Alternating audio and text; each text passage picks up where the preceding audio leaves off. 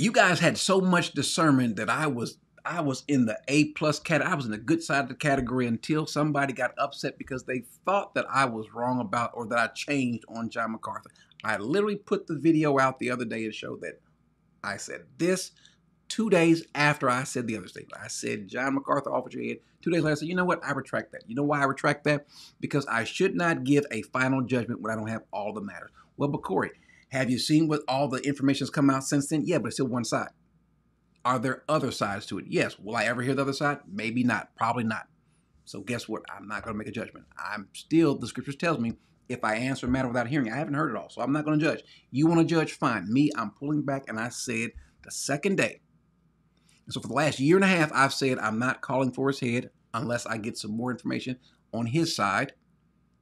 Then I'm not going any further than where I've gone. I've said they were wrong on, on how they treated um, um, Eileen Gray. That's that. What else you want me to do?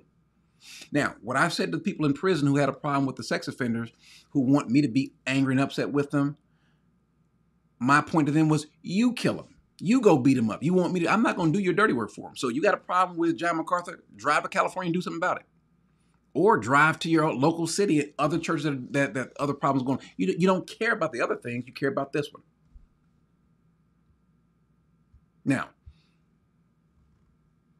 there's not more than one side. Okay, you fine. Fine, fine. If you find out that it is, the problem is this though, you don't know. So you guys can judge it. Fine. Listen, if you think that you've got all the information that you need for it, then fine. I've never called anybody. I've never said, "Hey, you're a bad person for for making this judgment about John MacArthur." I've never said, "If you feel that way, fine. You feel that way. Okay, you just better be right." God's not going to judge me because I don't I don't make the same assessment. You guys got to grow up. And I'm and, and I and, and if you get offended what I'm saying, then amen, fine. You guys have to grow up. Because if I make an accusation about you and I've got, got documents on top of documents on top of documents and you don't ever say anything, does that mean I got the whole side? Because you well, I read some official documents. But you cannot you can't you can't win an argument with everybody, especially a person that doesn't want to hear it. That's fine. That's fine. You guys go listen to those 30, 40 more videos to come have at it. Do, do your best uh, to enjoy it. But whatever you say about me or anyone else, you, my friend, better be right. Whatever judgments you make about me, you better be right. Maybe I'm the worst thing ever. Maybe I am. You could email me and find out. You could you could email me and find out you have no desire. You want to come on the platform. Now I can I can turn the whole thing and just just castigate you right here. I can call you all. So I'm not going to do that. I'm not going to do that because I, I am going to assume that you're a brother, or I'm not sure if you're a brother or sister, um, but I'm I'm assuming that you're brethren, and so because of that, I'm not going to treat you the way that you think I ought to be treated. Let me just say this to help you out. I was a liar, a thief. I can't even say I had an affair. I got fine, liar, thief, adulterer. I was a whole lot of things. Thankfully, I'm not those things. One of the things that I was back then Thank God I'm not, because I wouldn't have a problem getting on you physically. But I'm not. What I used to be, I'm not anymore. God has changed me. God has worked in me. God has moved in my life in ways you could not believe. I thank God. I know who I cried out to. I know what was going on with me. You don't have to accept it. That's fine. It's not for you to. All I can say is this for all of you people that that that that want to say something about someone else's sin, fine. Fine. The way you are judging is exactly the way God is going to judge you. There is no if, ands, buts, or about it. And it's not just this this issue with me. This happens all throughout Christian YouTube, Christian YouTube, Christian Facebook, Christian Twitter, Christian streets, Christian period, where you want to sit and just lambaste somebody because they sin. Let me just say this, and I'm going to go ahead and move on because I got somewhere to be in two minutes. But let me just say this, and this is for you guys. This is a warning. This is a warning for every last one of you guys who think you know the situation and you don't. Let me just be clear. Let me be crystal clear. You might find out that you're not saved. You might find out that you don't have a heart for God. Why? Because one, you have no forgiveness. Two, you will sit and enjoy gossip for hours on end, but you will not sit and put your butt down and do do some real Bible study. You will go and find and spend time. Hey, let me just dig in this person's past. Okay, that's a troublesome meddler. That's literally right beside in Peter, I mean, uh, uh, in Timothy, when he's talking about a thief, a murderer. Yeah, a troublesome meddler is in that same category. But let me just say this it might not be, a matter of fact, I know it's not that you are not sinless. What it might be is that you are probably, in many cases, a better sinner than I am and a lot of these other people. You know why I say that? The reason why I would say that you're probably a better sinner than everybody else, because you're good at not getting caught. What you have done is you've categorized big public sin versus your small private sin that had not come out. And you think my big public sin, I can promise you, doesn't outnumber your small hidden private sin. I can promise you that. I can promise you that. Let's say your sin of lying, your sin of jealousy, your sin of wrath, your sin of anger. You pick the sin. You got some sin. How long, how many times that sin's popped up? How many times have you lusted in the last week? Folks, thing, how many times have you had an evil thought? How many times have you coveted something? How many times you had unjust anger with someone? How many times? I can promise you it's more times than I've stole anything. I can promise you it's more times than I've committed adultery. I can promise you that.